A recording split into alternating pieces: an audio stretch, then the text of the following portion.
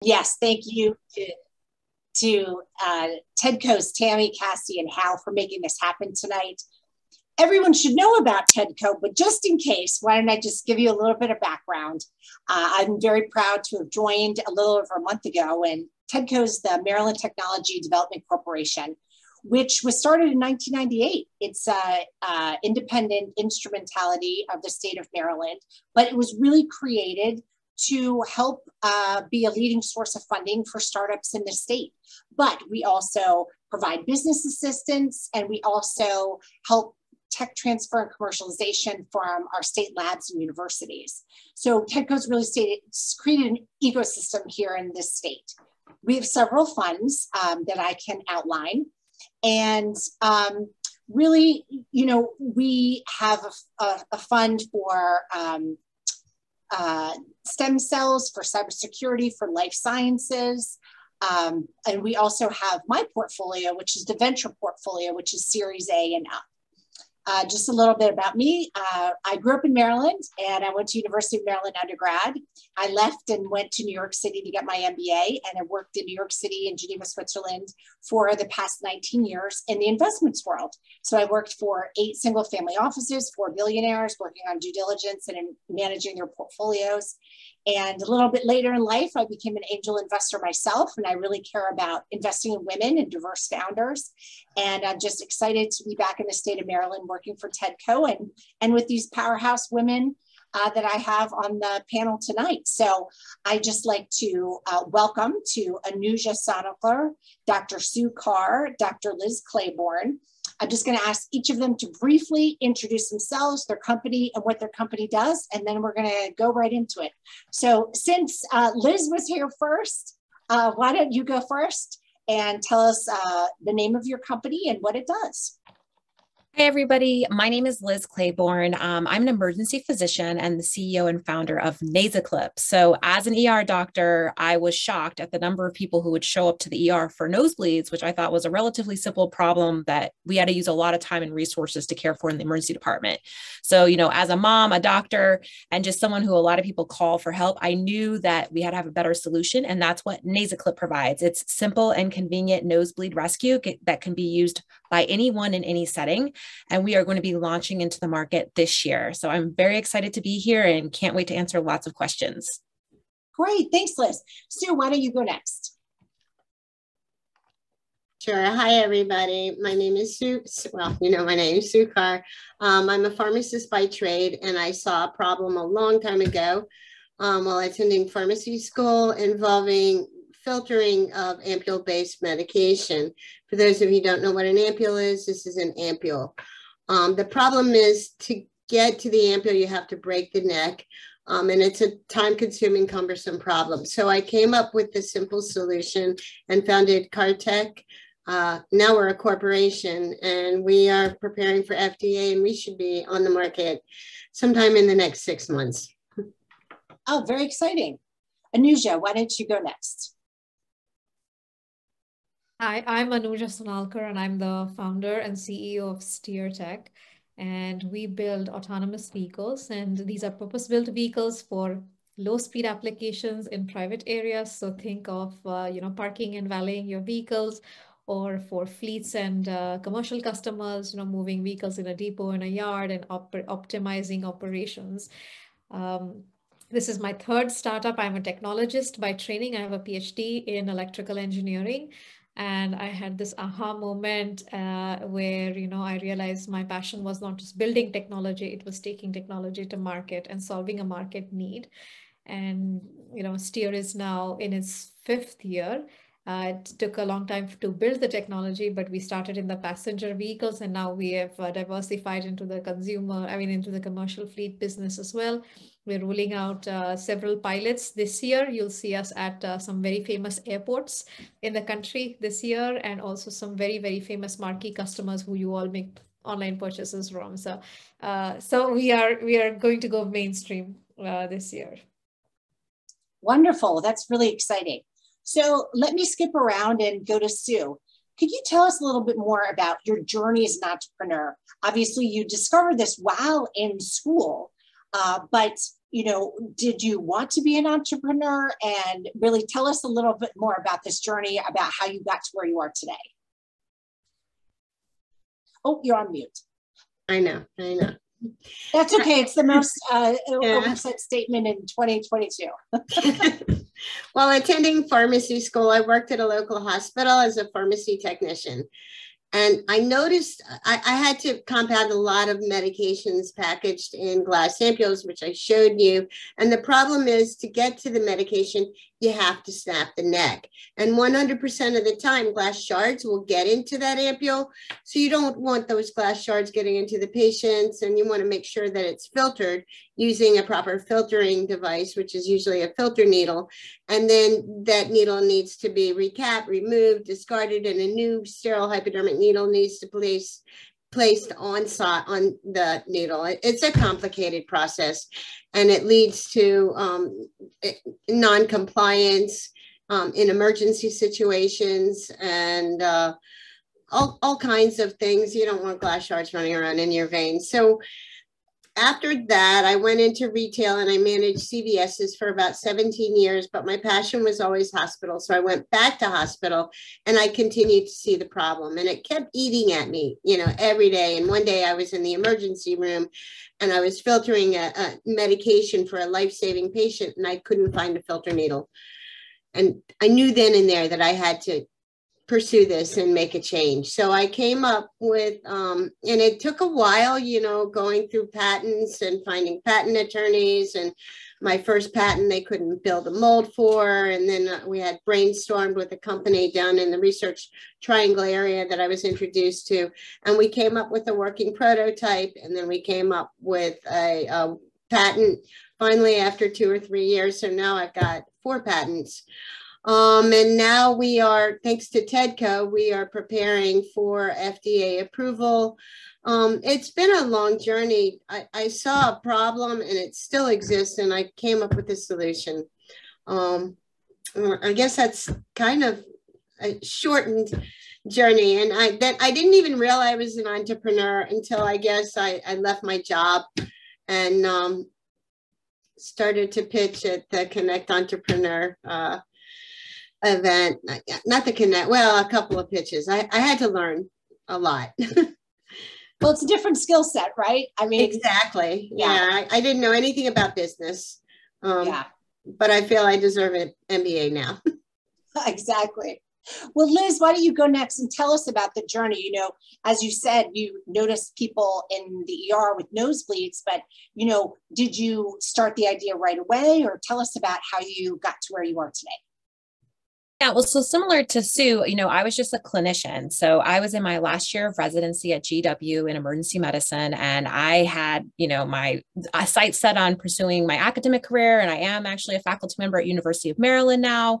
Um, but I just really, to be honest, was almost annoyed, but like more like bothered by the cumbersome nature of these epistaxis, which is the medical term for nosebleed patients. And I just knew that we had to have a better solution because we would do things like tape together tongue depressors to try to put it on the patient while they're waiting. Um, because when you present to the ER and you have something like a nosebleed, I'm sure it seems like a, an emergency for most people because you are bleeding, but you're not having a heart attack. You were not just shot. You know, you're not having a, a head bleed. So you might be waiting for several hours, and that is very frustrating. And in that time frame, usually patients will exacerbate their problem. So they'll make the bleeding worse because they're stuffing stuff up their nose, they're pinching in the wrong area, they're not holding constant pressure.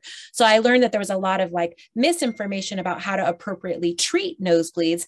And if they just had the correct tools to treat the nosebleed appropriately on the first attempt, they wouldn't even need to see me so that is really where the idea was born from. And so i i started like sue just kind of dabbling in it. I my first um, kind of delve into this area of entrepreneurism and business was um, going into the gw business plan competition. And we did really well there. And fortunately i had great guidance in the beginning. And i was i learned early on that i had to secure my ip right? So i, I worked on my patents being secured. I also have multiple issued us patents. We just have another provisional patent that was just submitted literally this week um, and then I did, you know, the NSF I-Corps, which was a great program funded by the government that really focuses on customer discovery and ensures that you are like solving a problem that people are actually going to pay for your solution and that you're kind of going about it the right way before you pour your blood, sweat, and tears into something that may not have a viable business plan. So even though I have no business background, you know, I don't have an MBA, I didn't have training, I think that my understanding of like the problem as a clinician, as a mother, and as a family member that always gets called to help other people with their problems, I knew that this had, you know, some teeth to it. And so I started out little by little, and then I've gained momentum. And what's interesting to me is that now, um, especially after participating in the TEDCO Builder Fund and all the momentum I had in 2020 and 2021, I am like so proud of the progress I've made as a Black female founder because we're largely underrepresented in this space. And there's a lot of reasons for that. I, at the same time as building this company, I got married, I had two children, and I maintained my academic job as a doctor. And so there's a lot of challenges that I think that females face in this uh, arena that are unique that although challenging, actually, I think better equipped us to be, you know, dealing with the challenges of a startup and multitasking, interfacing with lots of people, understanding problems, and communicating clearly. So the skill sets that I have as a doctor and someone who speaks pretty publicly about health policy and ethics concerns has translated really well into me being a CEO and founder. And I think that is what has attributed to me being so successful thus far in the space. But I do heavily rely on resources in, that the state of Maryland has provided, ecosystem systems like what we have in Startup Grind, and especially my fellow female founders, where we can kind of have that camaraderie and encourage each other as we all climb forward. Yeah, you know, you made some great points, and and I agree. Being in the investments world for 20 years, uh, there are very few women. There are very few people of color, uh, and and that's something that is you know got to change. And and by highlighting fantastic entrepreneurs like you, and also having the women who allocate the money you know uh, be in charge that really helps. But i agree you know and women i mean we've been managing money since the beginning or households uh, since the beginning of time. So you know women can be very good at multitasking because they had to always uh, uh, juggle many things at once. So, and a lot of women don't have a safety net, basically. So their business has to work. And so that's why, you know, for me personally, I find that um, women entrepreneurs, uh, they they do what they're going to say and they say what they're going to do. Uh, but let's go to Anuja and tell us about your journey. Now, you said this is your third startup. So was uh, autonomous vehicle something that you started in early or is that just something that came to you later in your career? Tell us about your journey.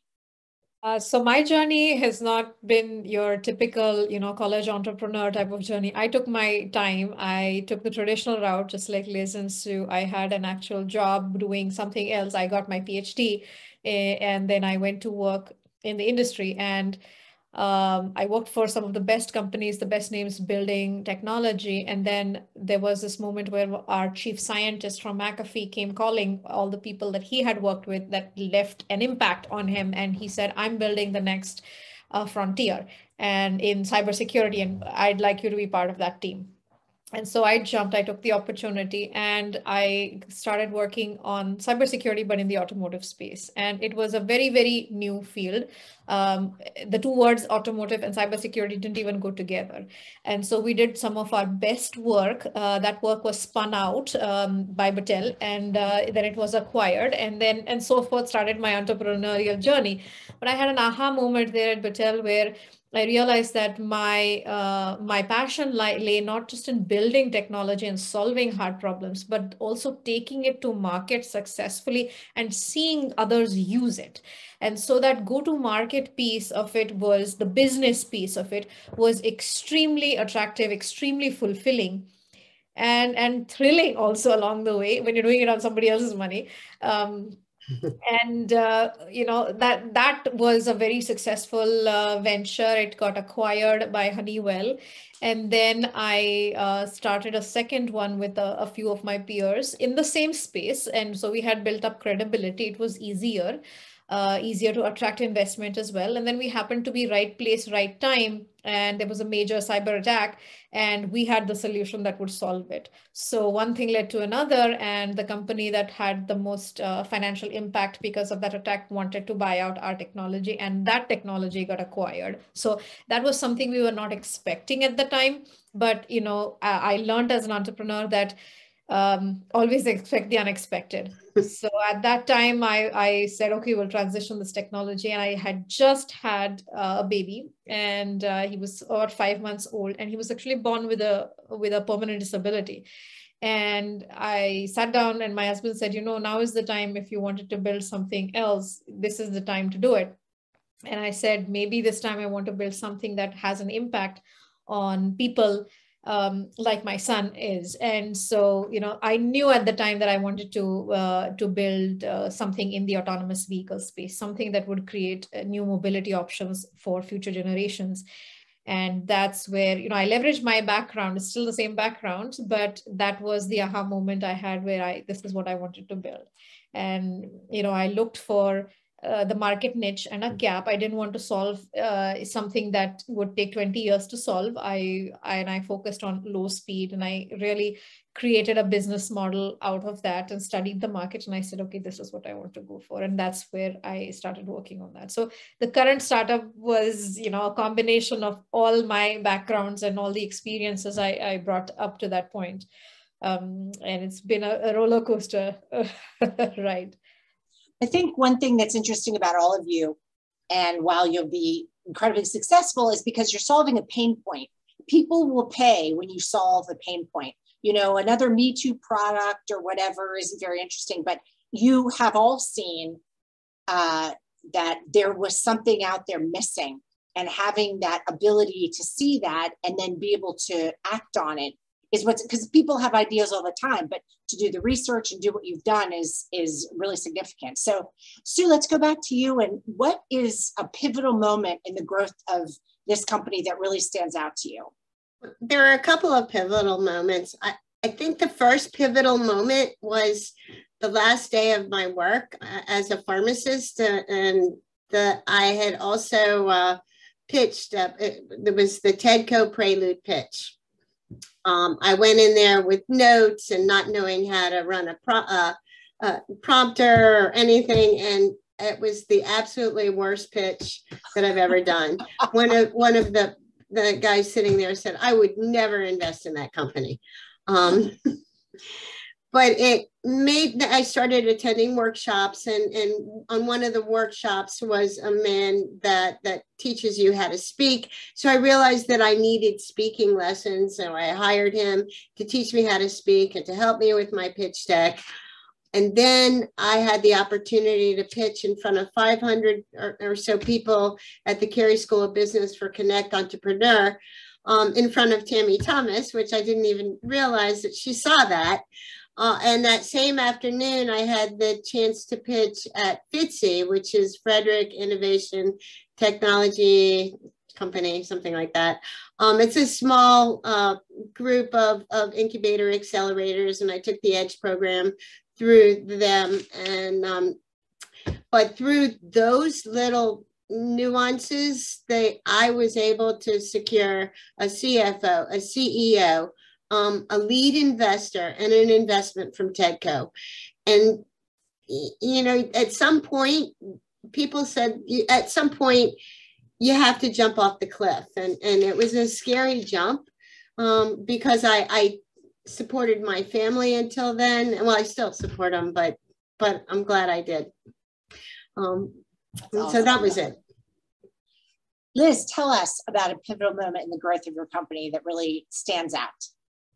Um, well, I have several. I'm going to tell you about two because they're uh, basically wedged on either side of the COVID pandemic, or well, the pandemic that we're still very much in, um, as you guys are all aware. So, you know, I'm an ER doc, and so 2020 was, I think, a tough year for a lot of entrepreneurs. But for me in particular, um, it was a very challenging year that I think I actually turned to be extremely positive. So I was heavily pregnant when COVID hit. So I was a pregnant ER doctor on the front lines trying to build my company.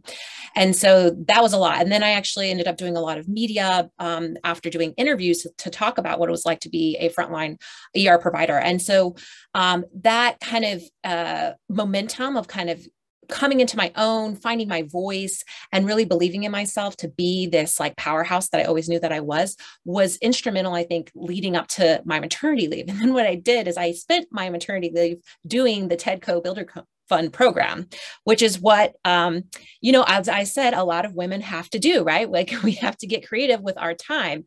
And although I always encourage moms to spend that time with their babies, that was a really big pivotal point for me because um, TEDCO not only provided capital that allowed me to get to the point of having an MVP, a minimum viable product of my um, device, it also gave me the advisory, um, you know, support and executive management training that I needed to take my company to the next level. So throughout the pandemic, instead of that being a lull, is actually a huge momentum and kind of growth for the company. And I carried that into the following year and was able to successfully raise a pre-seed round of over $550,000. So we were oversubscribed and I closed that round in December. So I think going from a place where I wasn't even sure where the company was landing to having successfully closed a pre-seed round that was oversubscribed again as a black female where it's extremely hard for us to fundraise in early med tech startups i was extremely proud of myself. And i think that at the end of 2021 this past december i now feel like you know the sky's the limit and i'm really excited to impress not just everyone who's invested in me and believed in me so far but all the people who have yet to hear about nasaclip and you know kind of make this a blockbuster product. I think a big part of my mission in addition to bringing this very useful solution to the millions of people that have nosebleeds every year is also to, so that my story serves as an example of Black excellence, of the power and ability of women to perform well in this space. And so I hope I inspire other young women and people of color to pursue their dreams in the same way that I have. Oh, that's awesome. Very inspiring, Liz. Anusha, could you tell us, you know, what's the biggest challenge you've overcome as an entrepreneur? Uh, I think the biggest challenge I've overcome I had to overcome as an entrepreneur is really, it was more internal. And I had to stop telling myself that I have to do everything. Uh, you know, uh, that's like entrepreneurial 101 is I have to do everything. And most entrepreneurs suffer from that, um, that, you know, failure is not an option and they are completely passionate driven um, for the success and uh, like you said also earlier is you know there is just no no way to, and especially for women right there's no way to fail but i realized that you know I can't do everything. And I, I used to do that in my work. I used to do that in my life. So at home also in my family, I had to be super mom. I had to do everything for my children. I had to do everything at work. And I realized that I have to pick and choose what I'm best at and I can contribute the best at. And I have to be surrounded by other people who are just as smart and who can do some of the other things. So that's something that I had to actively work on internally, telling myself, um, you know, that that was, I think, uh, a big one for me. You know, it's funny whenever it's it, the expression, if you want something done, give it to a busy woman because she'll get it done, you know? So actually, let's go back to you, Liz. We'll change up the order a little bit. And yeah, let's talk about that. Um, you know, I think uh, the b- biggest challenge you've overcome as an entrepreneur. I mean, I think with me too, it's sometimes a little bit of, um, you know, imposter syndrome. Like I've had that personally. Like, uh, you know, I walk in a room and, you know, there's no other women. Am I good enough? And, you know, I know that that's something that I, I had to overcome, but I'd love to hear from you. Yeah, absolutely. I'm. I, it's interesting because on my academic side, I do a lot of work in health equity, and, and there's a lot of literature that talks about that. Not only women, but especially people of color have this imposter syndrome. Anytime you're going into an environment and you're, you know, the odd woman out um, it makes you question if you have the credentials or the capability or if you belong there. And what's important, I think, is that you first have to believe in yourself. If you don't believe in yourself, it will be evident to other people that you don't believe in yourself, and then they're not going to believe in you. And so you kind of have to, you know, quote unquote, pull yourself up by your bootstraps in the sense that you first have to be your number one fan.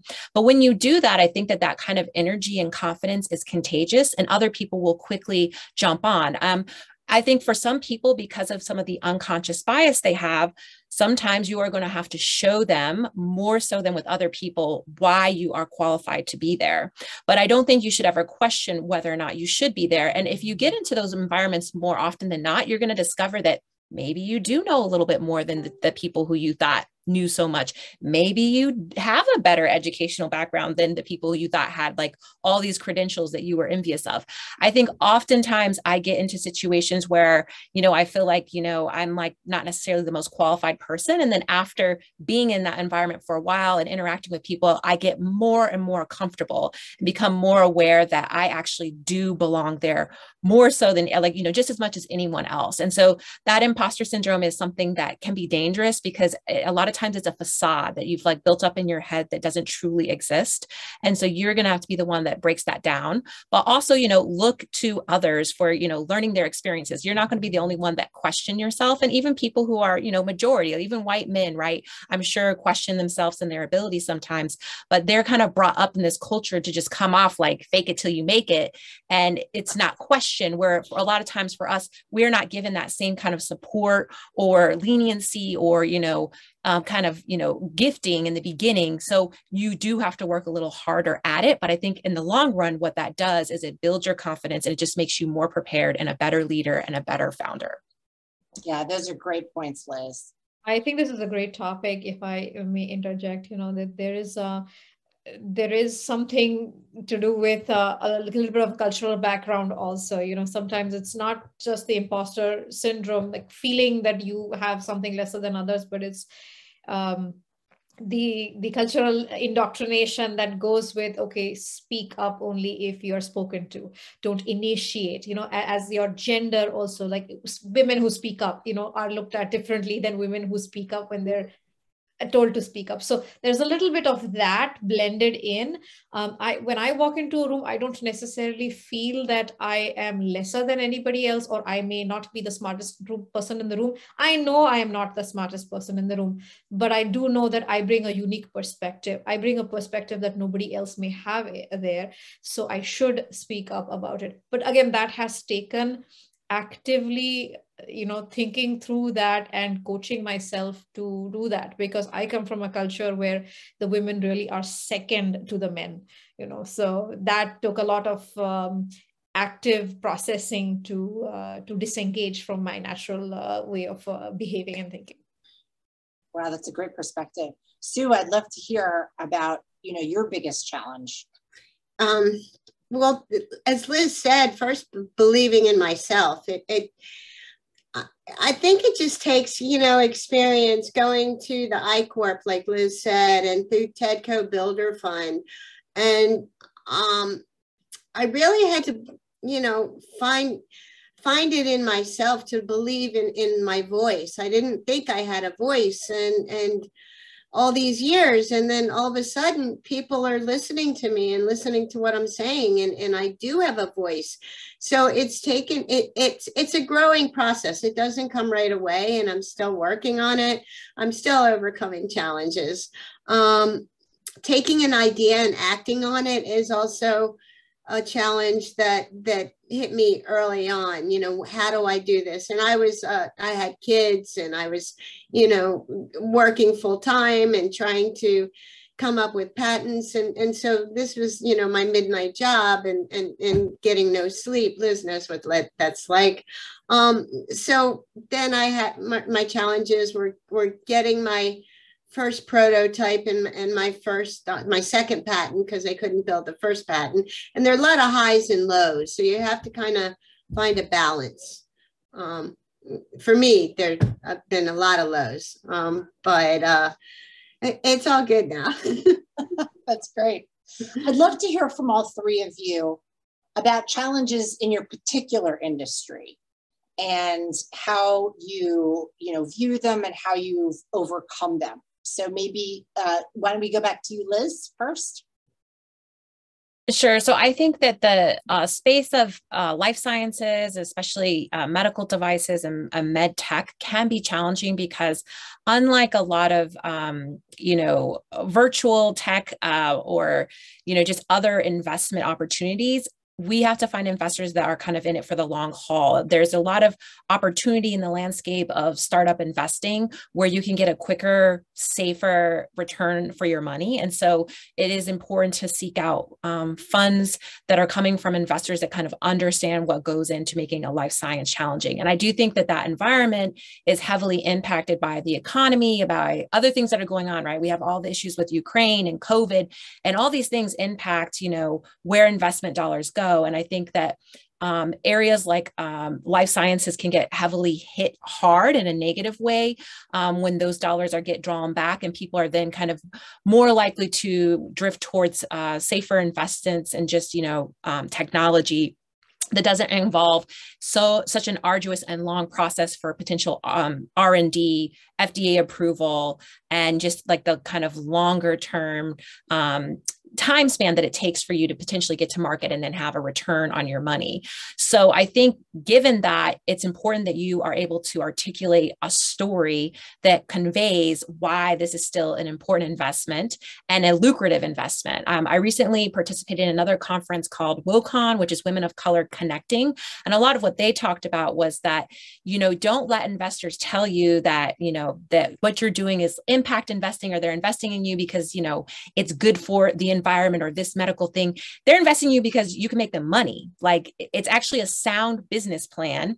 And they have a bias that maybe says, you know, that this is more risky because you're a woman, because you're a, a person of color, because you're a technology life science company, when that's not necessarily always true. And so I think educating your investors and letting people know, like, actually, why you have the credentials and statistics to back up why you're successful be, from just a straight business perspective is important because people will assume that things are more risky when in, in, in reality, that's not always true. And the numbers don't always bear that out. So you have to be aware of like what that story really is so that you can move forward with your fundraising and um, your success with your business um, because you're able to kind of bring people on board and get them on your side when you show them a, a clear path forward for you know making a turn on their money you know, I've done a lot of hardware investing in my career, and yeah, I totally disagree. I mean, a lot of medical devices i mean they, they don't need to necessarily take 15 years you know and and there have been early exits and things like that so to me i mean i i love hardware as well so uh, yeah, I agree. But Anuja, with your industry, it'd be interesting. What are the biggest challenges? I think a lot of people talk about Tesla, probably right, and Elon Musk, but and there's probably a lot of myths around autonomous vehicles, and and so it would be great to hear from you about that. So one thing we have common, all three of us, is that you know our industries are very physical industries, not like the digital industries where everything is all digital, like Facebook and Google, and everything is on software in your in your computers. When you're building a physical product, a physical device with hardware and with you know in my case with hardware and software there are long um, development times you have to get it exactly right and you're in it for the long haul, your um, volumes are very important, but there is a very large scale impact you can make. And in the automotive industry, when calling it hardware is an understatement. It's a car, like that's the biggest piece of hardware that you can run software on.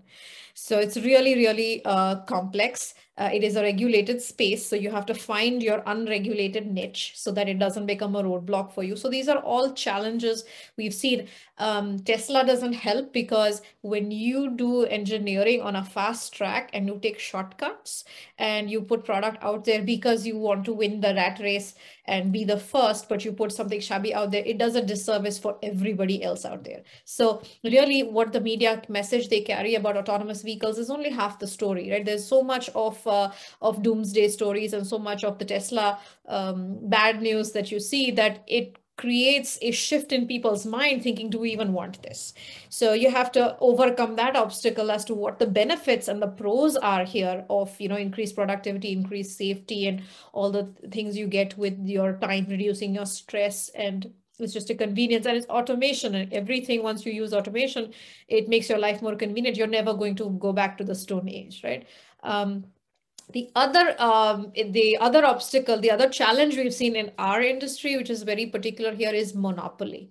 And there is a monopoly with the car manufacturers where they control the supply lines they dominate the volumes market and the pricing and they also dominate the go to market right? So if you're building product that goes on vehicle you have to go through one of the big automaker companies like it has to be going through their brand finally.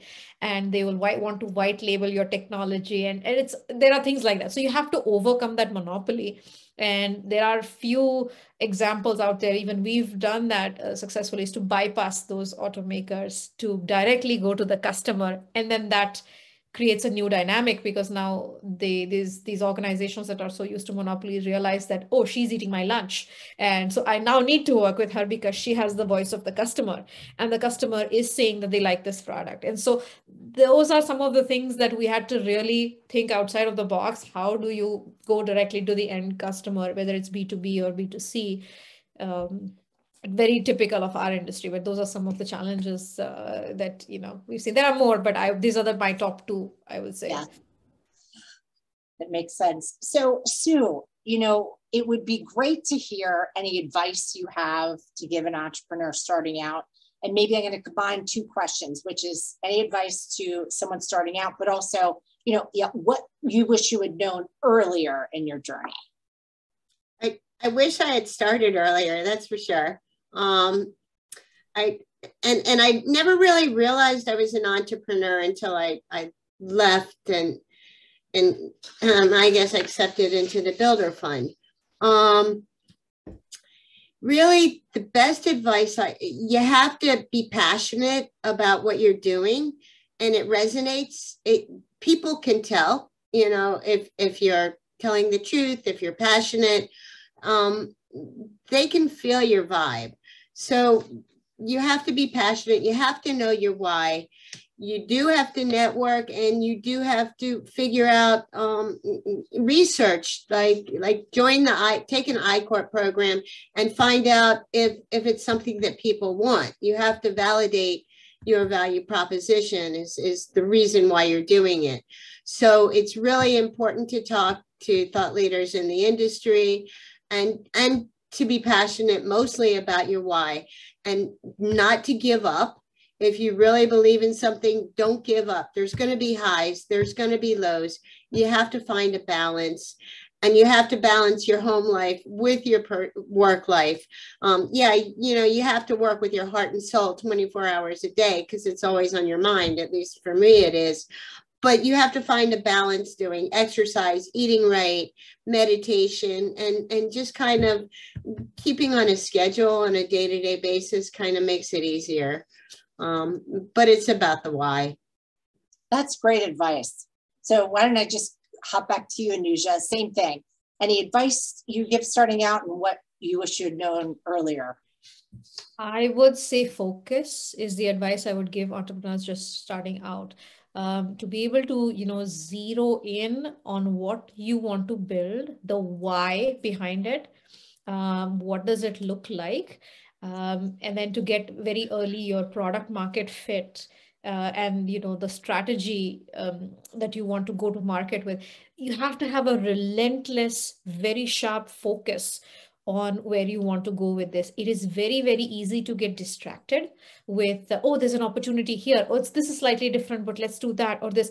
If you start doing that, you start diluting the message, you start diluting the product, and you don't get to MVP and you can't demonstrate um, what you started to demonstrate. So really, uh, I would say early on, that's what you want to do is to focus once and um, same thing the other side of that coin and this is what i would advise uh, uh, other entrepreneurs as well is and i should have also you know i wish i knew i'd done this before is build faster but and focus on what you're building. But once you've built it um, the same thing may be applicable to, you know, there may be a slightly different use case and a slightly different customer, but they have the exact same need.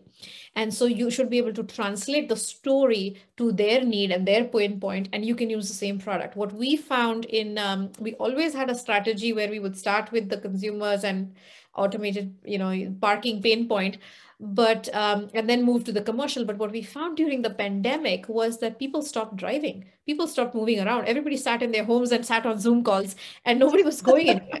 So so that put an end to that story very quickly. It's like okay we've developed this product eh, but and we were focused on building it so we built it right but we realized that this exact same problem is the other side of the coin for the commercial markets and the commercial business. Drivers can't show up to work because they're sick. Uh, people cannot get out of their houses because the governors of the states have locked everything down. But goods still need to move and travel. People are ordering more and more online and these um, delivery companies are bursting through the seams. They can't deliver product fast enough. So you can now use the same automation in their yards and their depots to streamline their vehicles when their workforce is not showing up to get these vehicles ready and when the driver comes in you maximize their time to go and deliver product out the door. So again same same problem same solution same technology same pain point just a very different uh, looking customer profile. And so i wish i had done that earlier is to focus on very on the various different customer profiles that the same so keep focus on what you're building but expand the profile of those you can serve with it. Yeah be able to pivot when you need to. Right Liz, we'd, I'd love to hear from you. You know, any advice? Yeah, I mean, I think that Anuja just hit the nail on the head, and you were able to articulate the word I was going to use, which is ability to pivot and mentorship. So I strongly believe in any kind of profession that you're pursuing, you should identify a kind of near career mentor, someone who's a couple years ahead of where you want to be, someone who's mid career, and then someone who has done this, you know, for 20 plus years.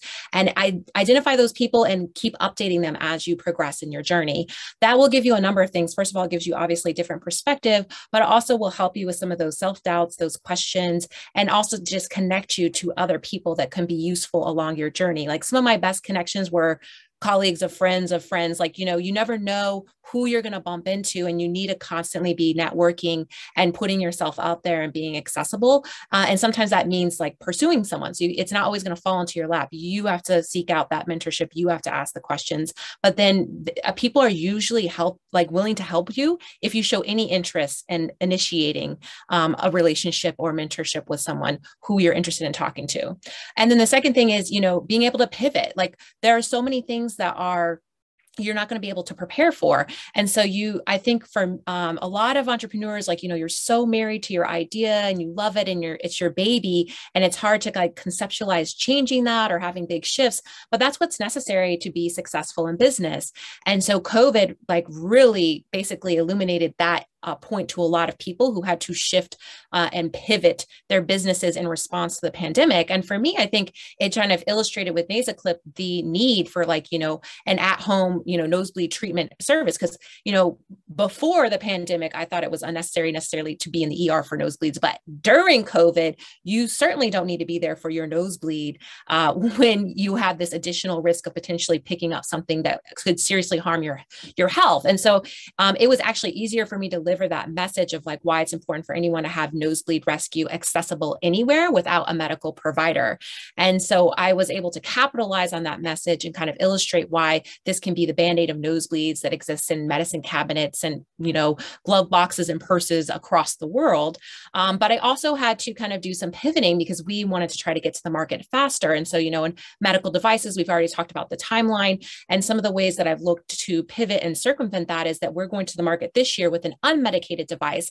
And in my mind, I always wanted the device to launch onto the market medicated. So we have, um, in case you guys are wondering, because people always ask me, this is what my device looks like. Ah. So it's a nasal compression um, clip. It provides external nasal compression. And then there's sponges that go in the nose. And this comes, this idea came to me because we usually will tell people to spray Afrin or oxymetazoline up your nose, which is a vasoconstrictor. And it's the combination of the medicine with pressure that will knock out nosebleeds fast. And so people will usually just ask to spray afrin up your nose, but it's hard to spray a liquid medicine up your nose when it's bleeding. So I always wanted these sponges to be, you know, pre-medicated with the clip. But what I learned is that we can go to the market with this unmedicated on a 510K exempt class one device, meaning I can go to market right now. And then we can actually co-pack with the device, which is kind of a way to, or with the medication, which is a way to almost circumvent the FDA until we get the approval and studies needed to have the device fully medicated. And so I had to do that pivot. So I'll show you guys how it works because everyone always asks me, and I I like to show folks because it's easy. So, you know, if you have a nosebleed, in case you're wondering, you want to clear your nose of any clots, bend forward, and then you would just basically put these sponges in your nose like this, uh, rotate the clip into place, and you pinch it shut. So it provides constant, uninterrupted compression. You leave it in place 10 to 20 minutes, and then you simply release the clip pull it out and check for bleeding. And it can be rinsed and reinserted two to three times, but only intended for one time nosebleed um, use. So that's the device, right? It's simple. It's like band-aid of nosebleeds. Uh, and but I had a lot of ideas about what exactly I wanted to look like, what materials I wanted it to be made out of, how I wanted it to be delivered to the market. And this is not exactly what I had initially pictured in my mind, but it's better in so many ways. And the reason it's better is because I was flexible and able to pivot. So that's what I would tell young entrepreneurs seek out mentorship and be ready to pivot. Well, Liz, you're on a roll. So I'm going to keep with you and and ask you, you know, what keeps you motivated? Uh, certainly. I mean, I think I alluded this to this before, but like I definitely have a passion to uh, really just knock this out of the park to serve as an example to other women and to other people of color and to mothers, right? You know, I have two small kids. I mentioned that I had a pandemic baby. So I have a 21 month old at home and a three year old. So, you know, I'm definitely in the throes of like being a mom of small kids, juggling that with still practicing clinically, which I think is important for me to understand the landscape of treatment and having credentials as a clinician uh, and building this this company. And so it's a lot. Like, you know, as Sue mentioned, you know, I'm not sleeping as much, but it is so, so important that you do have that balance because, you know, burnout is real and you're the only person that's going to be able to take it across the finish line. And in order for you to do that, you have to be, you know, solid physically, mentally, emotionally in the long haul. And so while I feel like, um, I'm excited and like I don't know how long I can like keep burning the candles at all ends the way that I am. What motivates me is like how much momentum I'm gaining, how much more recognition I'm getting, you know, passing those milestones like successfully having a seed round. I just got the NSF SBIR phase 1 grant, which is, you know, 256,000 of non-dilutive funding, which is amazing because I wrote myself a salary, so I'm finally going to get paid, which I haven't been able to do. So, you know, every little, you know, inch that I get along the journey just makes me more excited to take another step. And it shows me really that the sky's the limit. So I really have just built on that momentum and then understand that behind me, I have so many people who are proud of where um, I've been and where I'm going and just really want to see me be as successful as possible. So I want to make them proud in addition to making myself proud. Awesome. Awesome. Anuja, tell us what keeps you motivated? I think the vision of what we are building and how it's going to change the world, what an impact it has, um, that is my big picture motivation really that keeps me going. And then when i see the journey of what we've built what we've gone through and every milestone that we turn um, that just increases the energy and keeps me motivated. And you know when there are these down moments and you know it's my family it's my tribe. So it's my family my colleagues it's um, people I've looked up to and learned from. It's also my teammates. You know, some there's most of them are actually younger than me, but I watch them and I learn something from each one of them every day. And they keep me motivated. And I do this because, you know, they believe in me and they believe in the product and they're moving um, at the same speed I'm moving. And it's it's a gift really to be part of uh, a team where others share your vision, your enthusiasm, your energy. And so we bounce off of, they keep me motivated. That's awesome. Sue, tell me what what keeps you motivated?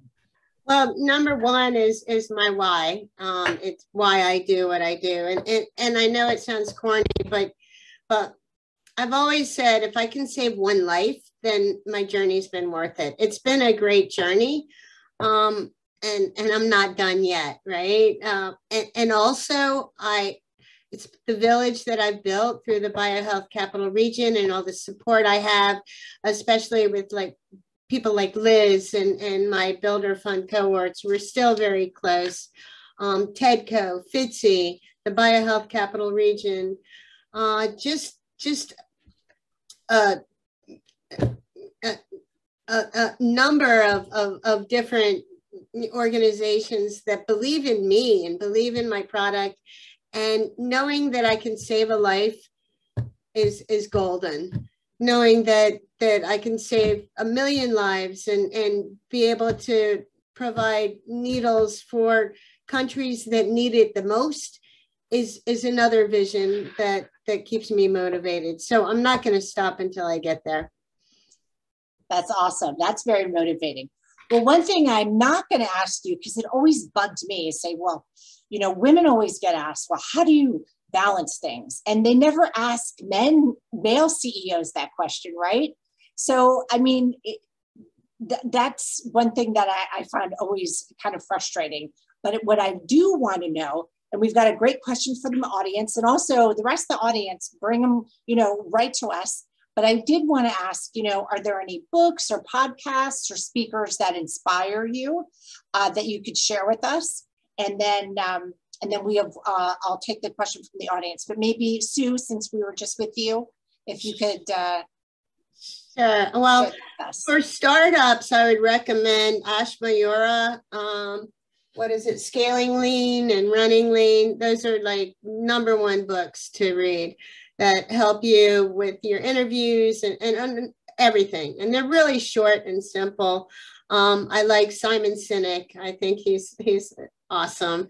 So you need to go to YouTube and, and watch about his why and and uh, some of his vi- YouTube videos. Steve Jobs, of course, uh, and I I I really like Jay Shetty for meditation, and he has a podcast called On Purpose, and also Rich Bendis has a podcast um, with BioTalk, and he has a lot of good things. And I listen to TEDCO speakers. Um, I I read uh, most recently. I read uh, Jay Shetty Think Like a Monk, and and I really like the book Bad Blood. I know it's it's talking about Elizabeth Holmes, but it's everything you shouldn't do, right? um, and but she was able to raise a lot of a lot of money. Yeah. Um, wow. Yeah, that's true. Great, Liz, tell us. Um, yeah, so I have some specific uh, things I'm going to share in the chat. So um, Cheryl um, Contee, who's one of the um, leaders of uh, the Impact Seat, which is one of the organizations that invested in my pre seed round that has a fund specifically focused on female founders, wrote a book called Mechanical Bull How You Can Achieve Startup Success. I would highly recommend that people tune into that. She is a Black female founder that had an IPO exit. So, um, really great to learn from her experience. She's like one of my mentors. Again, that's why I'm like so big on finding that mentorship. Um, so, you know, you can, if you read something you like, reach out to that actual person. So, you know, she's like now in my, you know, bullpen, re- cheering me on, helping me to fundraise. And um, that's one thing that I would uh, recommend. The other one that I'll also paste in the chat is a book called Sabbath by Wayne Mueller. And so I talk a lot of times to my residents about the importance of wellness and why wellness is needed for buffering burnout, which is very real in medicine, but certainly real um, in this arena of business and startup because you are really grinding all the time. And that question that we get asked by women really should be applied to everyone. And I'm appreciative that you mentioned that, right? Because I think the expectation in the language needs to be changed so that men are expected to be balancing the home life as much as women are. But everyone really in our society now needs to be focused on what they're doing to have wellness. And part of that is making sure that you're resting. And I think resting means uh, a lot of things to a lot of people, but it's more than just saying, like, well, I'm going to have a day to run errands or clean my house. It's really like, what are you doing to nurture yourself emotionally, physically, mentally, spiritually? And so I read this book when I was like really stressed out. And what I took away from it is that I have to actually schedule in my calendar times where I have rest. So I actually practice a Sabbath of Monday. I chose Monday as my Sabbath day. Um, sometimes it's only half a Monday, but it's still a Monday. And that's usually because the worst day of the ER is Mondays. So I don't know if my coworkers have caught on that I never get scheduled clinically on Mondays, but it's like the busiest time in the ER because everyone waits on the weekend when they do all types of things they're not supposed to do and then come on on Monday to get help. And so Monday is my day of rest and it's a, it's a time where I try to not schedule meetings. I don't require myself to answer emails. I don't have to pick up my phone. I basically give myself the space to do what I want, hang out with my kids, watch a reality TV, you know, whatever it is that helps me reset. And I think that having that practice is important because we live in a society where we really have this disease of busyness uh, and it will eat away at you over time. And if you do not build in those safeguards uh, to pre- prevent yourself from burning out and, and protect your wellness, um, then that will happen and you won't be able to perform to the best of your abilities. Uh, so I would encourage everyone to check out those books. Um, and, you know, I hope we get to learn. I, I, mean, I think it'd be great to have like a reservoir of, of uh, specific, uh, I think, you know, resources when it comes to kind of wellness in the startup world. I think that would be very helpful because everyone has little tidbits that I've learned from that have been super helpful. But this is my particular practice that I always tell everybody about. I think that is great advice. You know, when I started my career in New York and Wall Street, people bragged about getting up at three in the morning and having four hours of sleep. And that's just stupid. And now I look at it, I'm like, thank goodness you need sleep and people need that you know because it, your brain cannot possibly function at 100% without that. So that that is fantastic. So i think anuja i wanted to ask you about any podcasts or books and then i think we have one or two questions from the audience and then i think we're going to open it up. Sure, Liz, those are fantastic resources and uh, you know great storytelling there. I um, so i have one resource for people who are thinking about becoming entrepreneurs and you know you're at the edge you're on the fence and should i do this? Is it for me or not and um, there was a book I read. It was called The Big Leap by Gay Hendricks, and he's a phenomenal uh, motivational um, writer. And it was right place, right time for me because I was having what he calls the upper limit problem. It's like, okay, this is it. I don't think I can do more than this. I've hit my max. No, you've not hit your max, and your next big leap is after you cross that upper limit, right? So he really walks you through uh, some good examples and uh, it really reflects back on you. And uh, i thought it was just a wonderful book. Lean in to me was transformational. This was when i was still a tech techie and i was you know i was doing all the things she said in there that this is why we're not taken seriously is because half the problem is us you know? And i really realized oh that's me. And then i read the next oh, that's me and that's me. And so i realized that okay if half the problem is me i need to fix that half right? Then i you know i can't sit and have a pity party about oh i'm a woman and this is how i'm treated and this is so hard for women no it's not it's like half the problem is here so that was a transformational um, book that I read. And my hands down, my most favorite person, podcast, essays, or just listening to her speak, YouTube, anywhere, is Indra Nooyi. Um, she is the ex CEO and chairman of PepsiCo. And, uh, you know, so many things about her that are so relatable to me personally. Um, she's a woman.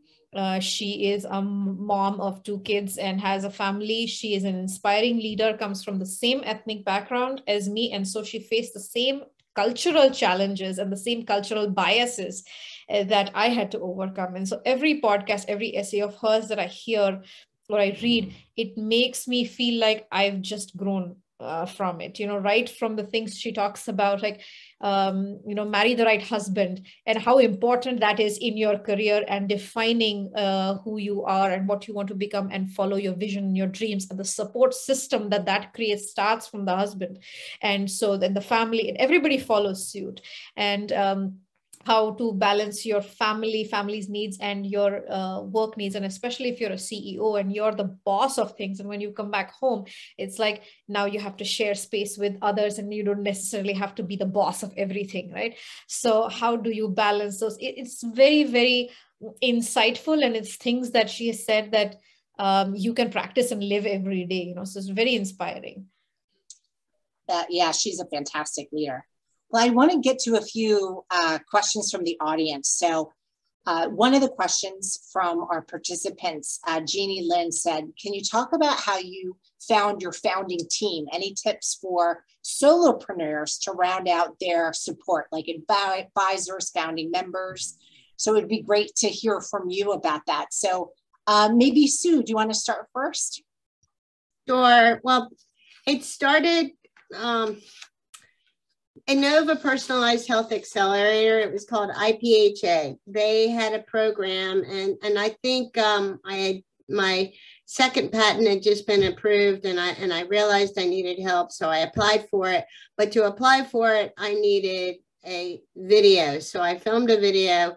Um, I got into there, and they accepted three people, six companies into the summer program and and we had to pitch every week in front of investors and leader thought leaders. And one of the thought leaders said you need a cfo so she introduced me to who's now my cfo he's awesome. His name's john brzezinski.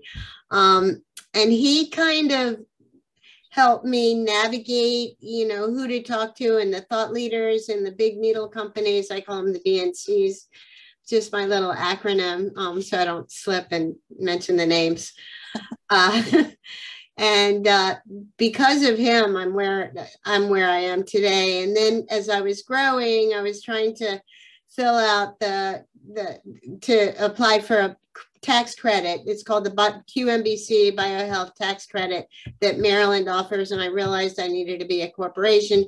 And to do that, I needed I needed more assistance. So I called my good friend Kathy Callahan, the director of FITCI, and said, Kathy, I need a CEO. So she uh, made arrangements for me to get a CEO, and I knew it had to be a man because it's a man's world, right? We all know that. Um, but he's really good. Don't get me wrong. I'm, I'm glad. Um, and it kind of balances everything out. So because of him, I'm, I'm where I am today. We are now went from an LLC to a corporation. A year later, I did qualify for the Maryland tax credit and I was able to save six of my investors 30% of their investment they get back. Um, and we're still, you know, in the final stages of it, but it's, it's, it's coming along, and uh, I guess that's it. Um, that that was very helpful.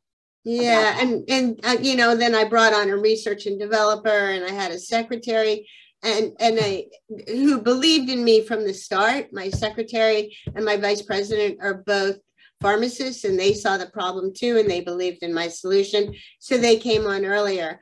And i had first bootstrapped and what bootstrapping is because i didn't know what it meant was you you use your own money. And i was able to do that because pharmacists get paid you know fairly decent salary. Um, so i bootstrapped my way through two patents and a prototype.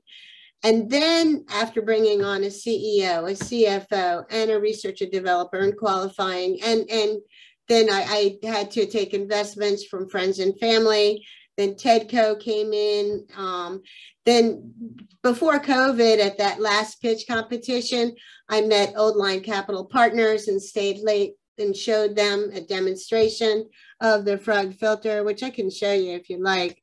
Um, and uh, we, uh, it took them a year. They're like, I'm not ready yet. I'm not ready yet. But once I brought on a CEO and and became and we're still doing the corporation. That's what kind of was a pivotal moment. So it's bringing on the right people and having advisors and mentors taking a, an accelerator or incubator class like the edge program that they have mentors there and building a relationship with them. Um, so basically what you do with the filter now um, is the current filter is the tip is relocated at the end so you insert this into the ampule. Once it's done, you remove the filter and then you inject. All in one step, all in one package. That's fantastic. Anuja, why don't you tell us too about your founding team and any tips? Uh, so this time around, I was a solo founder when I started Steer. My last one, we had four of us, and all four of us, you know, after that exit, all went and we did solo things. I went to build self-driving cars. The second one went to create coffee tech. So he was going to build the next biggest, best grinder in for coffee. And one went to and is the founder of Bugzilla. They are looking at silkworms and creating uh, hmm. technology to make silkworms produce more silk. Uh, the fourth one is building AI for bridges. So we all went to follow our passion and do very different things. Um, I took a very different approach this time. I started as a solo founder. I had an angel investor join me. It was one of my investors from my previous company, and some of my investors from my previous companies followed. It gets easier to get investment when you're in your subsequent runs and you've done it successfully for them and they see the track record. Um, but this time I decided to build a team that was much younger and coming from uh, a newer perspective. I wanted um, the newer perspective. I didn't want people from the industry because the people in the industry I noticed had hit a ceiling. They were all stuck in the same rigor of problems, and I wanted to just you know have people in the fresh uh, start. I also this time around wanted to give back, and so I wanted to nurture and groom new talent and um, you know develop a, a, a, stronger workforce and just grow uh, the team more organically that way. But it's very challenging. It's very hard. You have to be prepared to um, do a lot of the heavy lifting up front. So some of the issues we had if i had a more experienced team it we would have gone faster. But this is way more fulfilling and more rewarding you know when things work out well you can say that.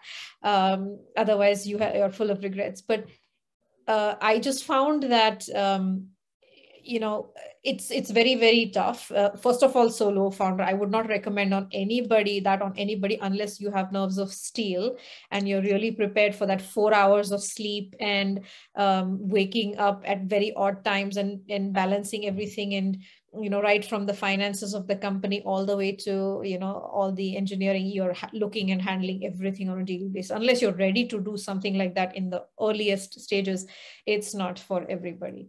Uh, but you want to grow talent and people around you and do what i said is like you know figure out what you want to do and you do best and is in your zone of genius. And everything else you start grooming others to take over and you create a strong uh, team. You know that's really successful companies are made by successful teams. It is not a solo sport. So even if you're an entrepreneur and it's your idea and it's your vision, it is still a team sport. And so that's what I would say is the biggest thing is to build the team around you. Liz, love to hear from you about your team building. Yeah, I mean, I think that was great advice about team building and how important it is. You are heavily judged when people are investing in you on the strength of your team, and oftentimes that is who they're investing in is the leader and the team. So, um, for me, I had uh, two co-founders that were introduced to me in the GW ecosystem. So I thought I came up with the idea when I was a resident, and so my attending, Dr. Neil Sikka, who was reading leading the GW Innovation Center at the time, kind of mentored me, but he actually connected me to an undergraduate. So someone who is like a biomedical undergraduate who's just interested in startup. And he has now blossomed into like my COO, went on to business school and engineering school at Dartmouth, and now actually works in venture capital and is like leading our go-to-market strategy. And so it's so funny because like I met him when he was like a baby, and now we've been on this journey together. Um, so you I, I don't I would encourage people to look, you know, in all different places for how you might build your team.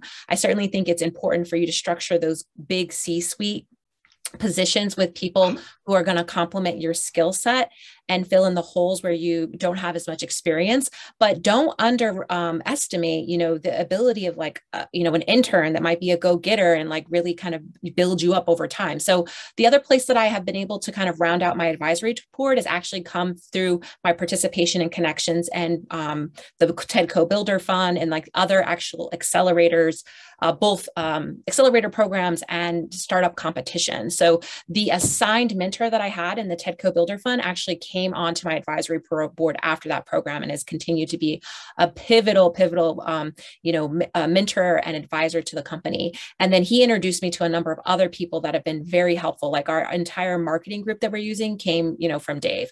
And then there were some other connections I had from doing the Ignite uh, women's pitch competition, um, where I I was placed in the finals, and I made a, an, an impressive I impressed a judge during that competition, Dr. Juliette Breeze, who was a fellow emergency medicine physician, but she owns a chain of urgent cares in Houston. So now we are piloting the device in a, a pilot study at her um, urgent care chain, and she invested in my pre-seed round, and she will be someone who will place our like first purchase order. Plus, she kind of knows the whole ecosystem of urgent care in Texas, and so is really you know just from impressing that one person who I didn't even know really was going to be judging me during that competition, it's turned into this huge fruitful relationship. So always have your eyes open for like where you might be able to um, seek out an advisor, an investor, or a new member of your team, because it's not always going to be necessarily where you expect. And I, I, would encourage people to look up and down, right? Like to where they might have uh, help coming their way.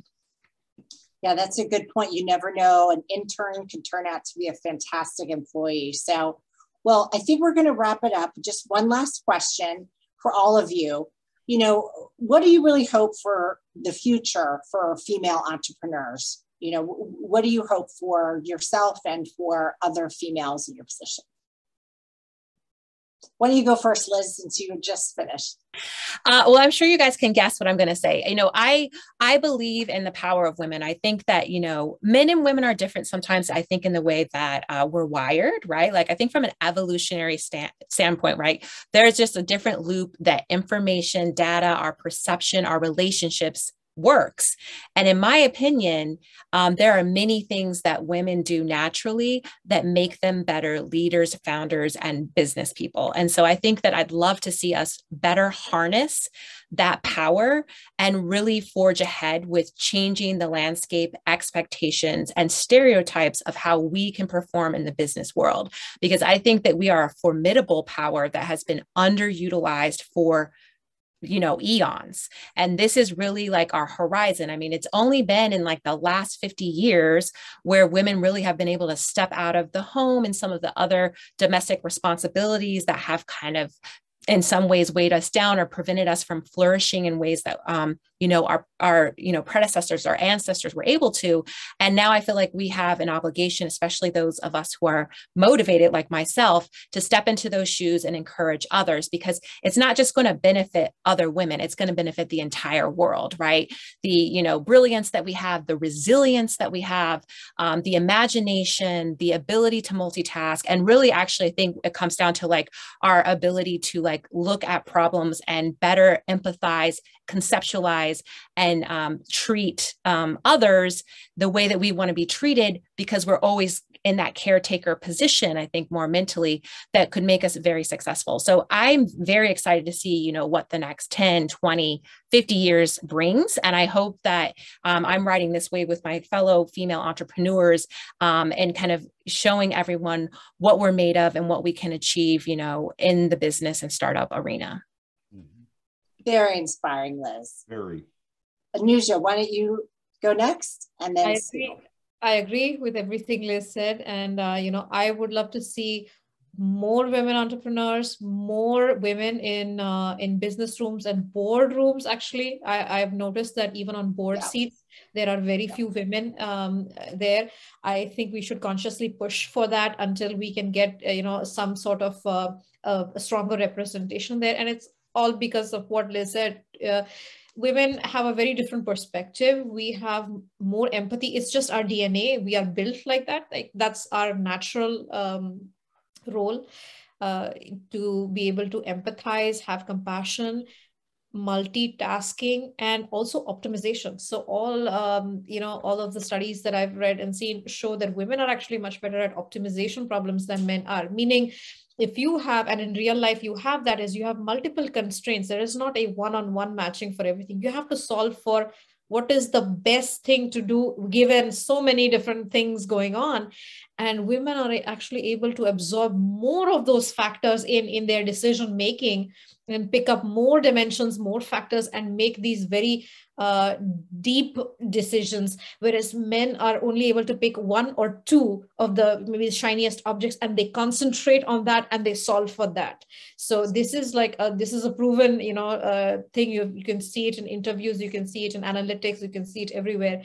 They pick one or two, whereas we try to solve for eight out of ten, right? So you want a healthy board that is a representation of men and women, so that you have both kind of problems. So I won't say one is smarter than the other, one is superior than the other, but you need both there so that you have these diverse perspectives. Same thing as an entrepreneur, you need both because we will solve problems differently and we will provide different solutions to the world and there are so many problems out there. Same thing with, with the business world.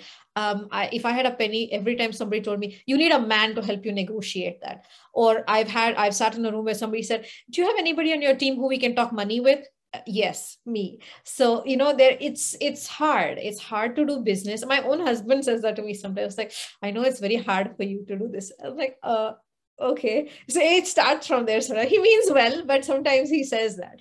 So it, we have to overcome that as women also but we have to put more women out there. And i think that will just change the dynamic a little bit and even start with women to women negotiations and and then the men to women. It'll all just blend together. Right? i think seeing more of us in leadership positions in um, in in business entrepreneurial board etc all these very critical strategic decisions uh, venture in venture also i would say you know there are not enough women in venture and uh, there are not enough funds for women in venture. Both go hand in hand. I think um, uh, there are there are some like uh, you know katherine who are very successful uh, people in venture who are women but you know for every i think one female vc you have 10 male vcs so again it's there's not enough uh, out there.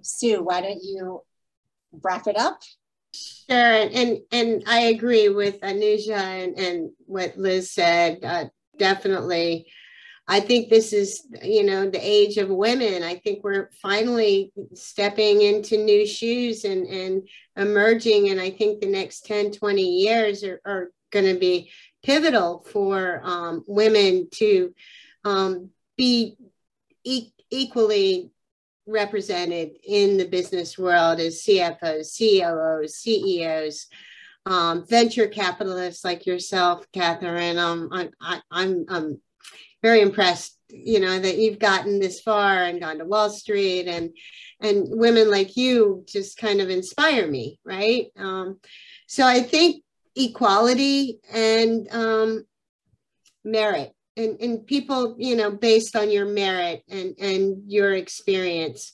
And I think women are much better at multitasking than men, but that's just my opinion. You know, I feel such hope. I didn't always feel this way, but I can't even tell you. I started my own list of all of women who are investing in other women. And it's amazing how many new VC funds there are, angel groups, and so I, I feel tremendous hope because, you know, it's not just women starting the company, but the women allocating to other women and knowing that this is not, I don't do it because I think it's an impact investment. I'm doing it because you guys are going to be awesome. And mm-hmm. you deserve the money to make your companies thrive. And so it's not an impact investment to me. It is just getting the money to the right people. And so I, I do find, I, th- I think there's a lot of hope out there. There's a, a lot of, of research about um, women being fantastic leaders and CEOs. So, you know, I want to thank you. I know we kind of went over, but you guys were so interesting and you had such incredible comments to say. And, and I'm just so glad I got to meet all of you virtually and talk to you and listen to you. And I think we've learned a lot from you. And, and so I appreciate your willingness to come on and, and tell us uh, so much about yourselves and your company. And, and so I think we, we might have Chris or someone else come back on from Startup Grind, but I know I've been talking a lot, but I just want to say thank you for this opportunity. You know, they there. I have something um, to add about the power of women and and investing. Uh, there are two women um, who I know. They have a VC firm. It's called Hannah Grey VC. Oh yeah. They're both they were both partners at um, major venture capital firms, and they left because even though they were partners, the male partners, sorry guys, um, never would um, invest in what they wanted to invest in. They said that they were just a checkbox. They were just a box that, that was being checked, you know, to have a female, you know, VC on their team or whatever. So they formed their own firm.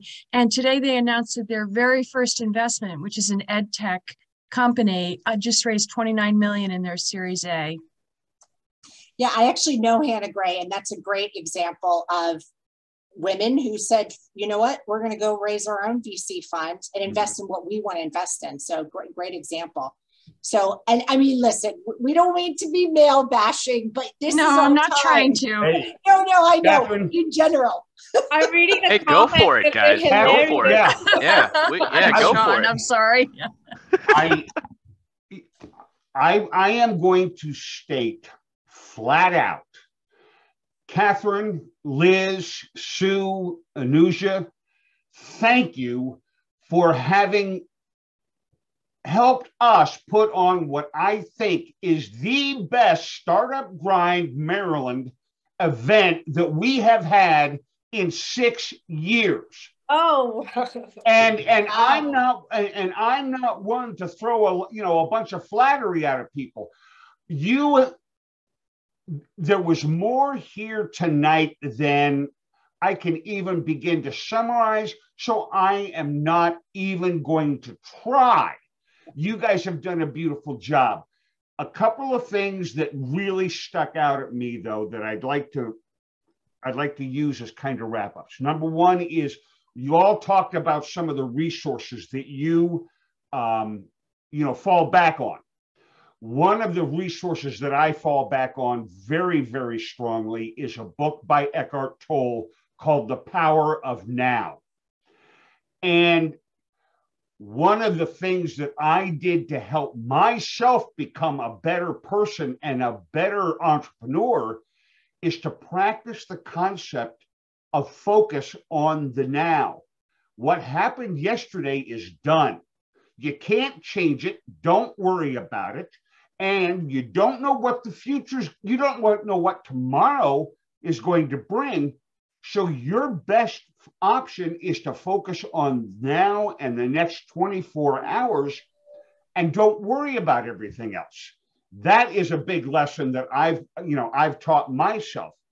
The other thing that I heard, and I think this is a huge uh, testimony to the ecosystem that we are building here in Maryland. You've got resources like TEDCO. You've got resources like Liz, the Builder Fund, the Rubric Fund, everything that's involved with TEDCO. You've got the Maryland Innovation Center. You've got FITCI. You've got an incredible ecosystem down in, in you know in the downtown Baltimore area. It's about reaching out, asking, do not be afraid to ask for help. You know, we are here. You would be amazed at what people will do if you just say, hey, I need some help. Can you give me some advice? And I think you, all of you on the panel really communicated that beautifully. And for that, all I can say is thank you for making what this being our 88th event, I think the most impactful event that we have held. The other thing I wanted to say is get involved in organizations. Get involved with Startup Grind Maryland. This is what we do. It's about connecting people and resources. Get involved with TEDCO. We have our Founders Forum coming up on April 1st, which is an informal group. It's a small, intimate, informal group of us founders and entrepreneurs getting together and talking just like we have tonight. Taking a load off, sharing your problems, sharing your concerns, asking for help. So if you're interested, please go out to our website, sign up for uh, our April 1st uh, Founders Forum. We would love to see you. That being said, does anybody else on the panel have anything to say? What we're going to do is you will be getting a post event uh, newsletter coming out that will have links to this video that you'll be able to use and share and, and, and promote yourselves till the cows come home. And we're also going to have a short survey we're going to ask you to fill out to give us feedback, Sean and I and Patrick and Startup Grind Maryland, to tell us what, what you liked and tell us where you felt we fell short so we know what we can do better the next time. So that being said, ladies and gentlemen, thank you all for very much for participating. We've loved having you and we look forward to you being an intimate part of our community going forward. Have a good evening, everyone. thank you. Thanks, everyone. Bye bye. Thanks, guys.